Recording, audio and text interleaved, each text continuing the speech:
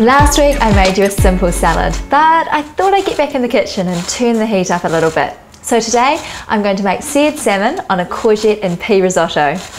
Welcome back.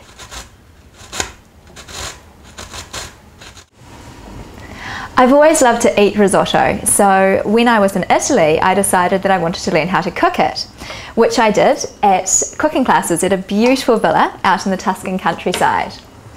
So there we go, we've had the butter and garlic go in and the onions. Next we're going to add our rice. You need to use arborio rice. That's a special rice to make the risotto nice and creamy. And of course, a splash of white wine, which is essential.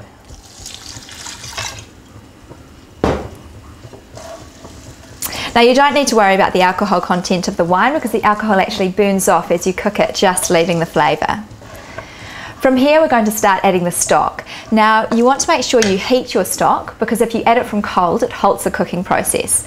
So for about the next 20 minutes we're going to start adding the stock a ladleful at a time and just keeping on slowly stirring. The risotto's almost done, so I've moved it to the back and it's time to take care of the salmon.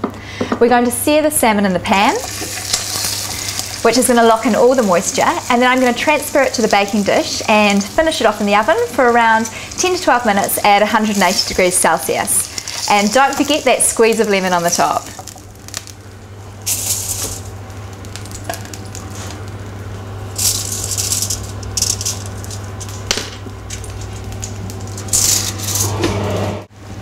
While the salmon's in the oven, we're going to add the grated courgette and peas.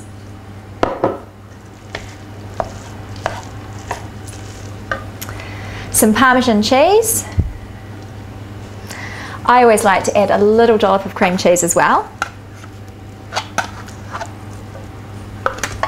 And some chopped chives. Stir these through.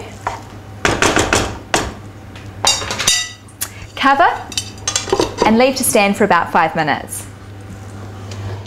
So here it is, seared salmon on a courgette and pea risotto. We're going to garnish that with some fresh chives. Stay tuned because next week I'm going to be making coconut crusted prawns and a Tahitian raw fish salad.